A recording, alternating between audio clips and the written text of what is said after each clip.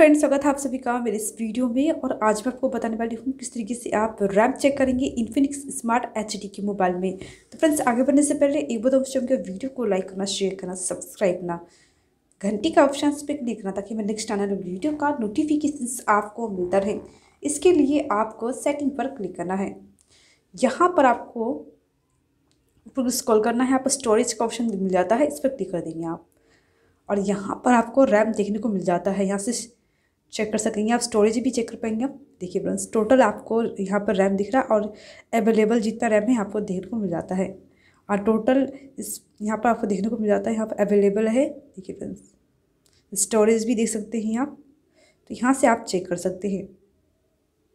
तो इस तरीके से आप रैम चेक कर सकते हैं। तो फ्रेंड्स आई होप आपको वीडियो अच्छा लगा है तो लाइक करना शेयर करना सब्सक्राइब करना, घंटी का ऑप्शन पर क्लिक करना, ताकि मैं नेक्स्ट टाइम वीडियो का नोटिफिकेशन से आपको मिलता रहे। तो फिर से मिलते हैं नेक्स्ट वीडियो में एक नए टॉपिक के साथ। तब तक के लिए नमस्कार।